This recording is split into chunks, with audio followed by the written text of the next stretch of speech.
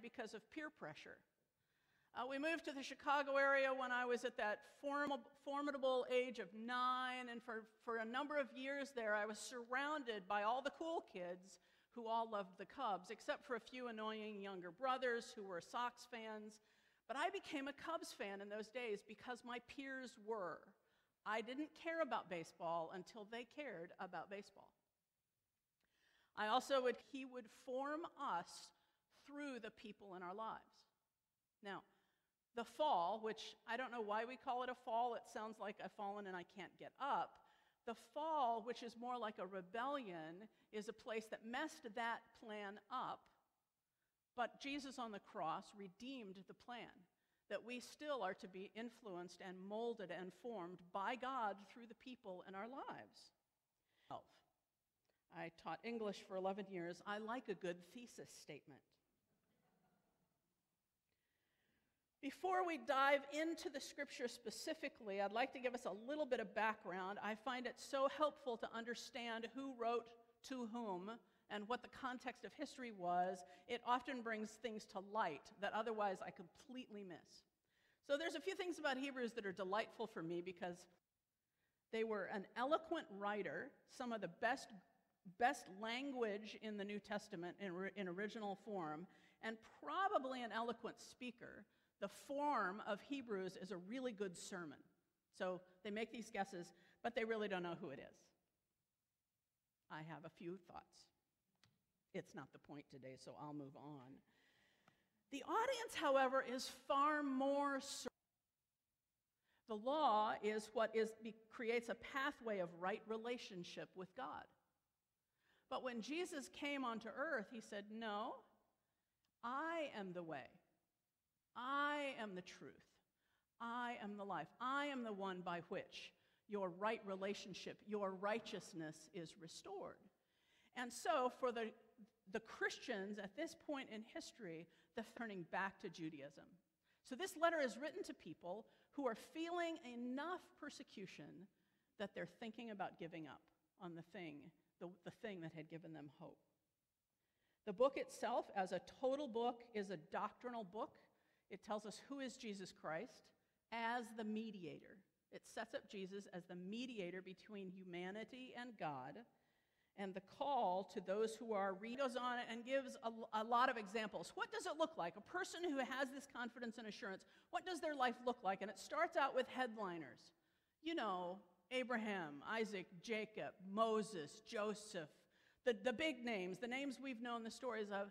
And then it goes into the people that you might not know their names. And it describes this. This is what people who have this confidence and assurance, this is what their lives look like. This is what they do. They conquer. Oh.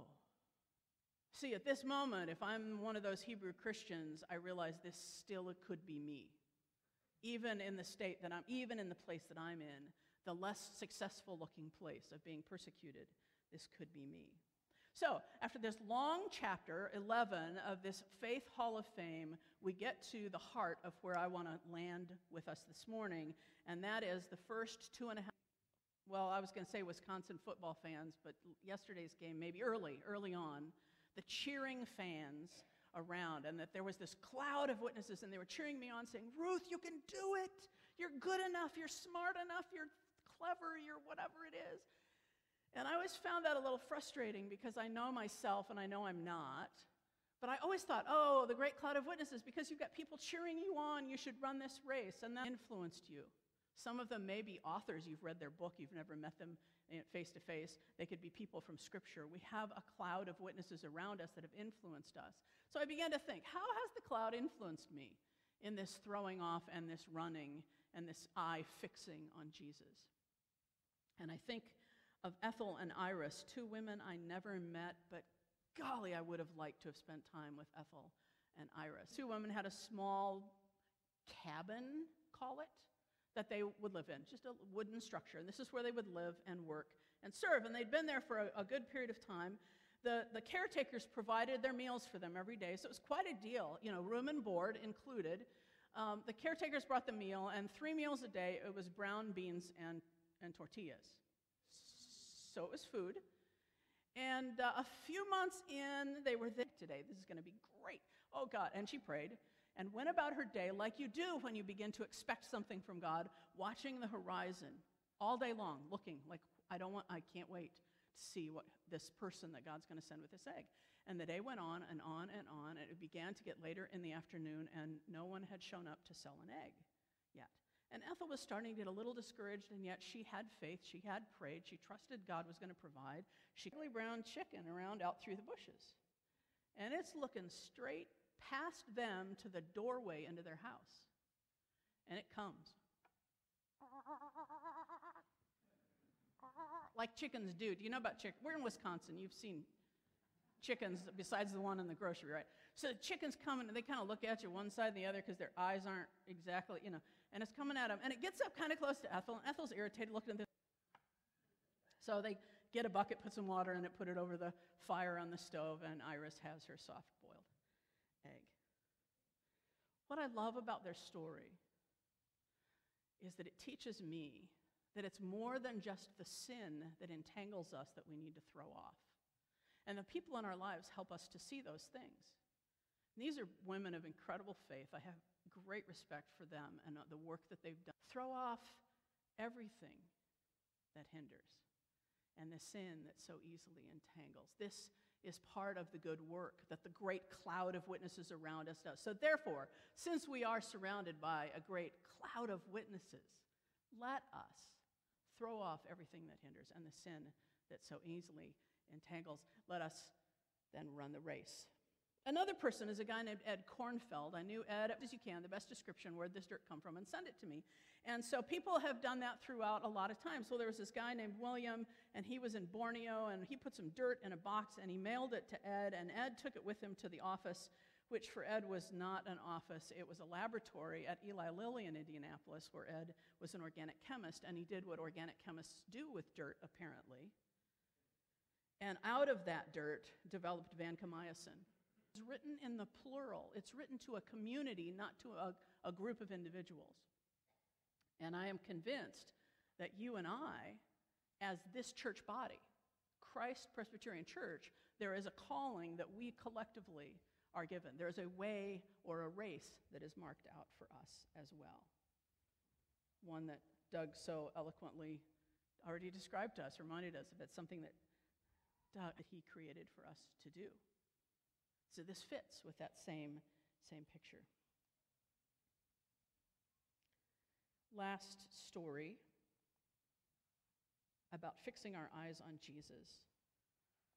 Um, my friend Cam, uh, it's not his real name, uh, it was a classmate of mine at Fuller for a number of classes together, and uh, Cam was and he was doing training there for church planters.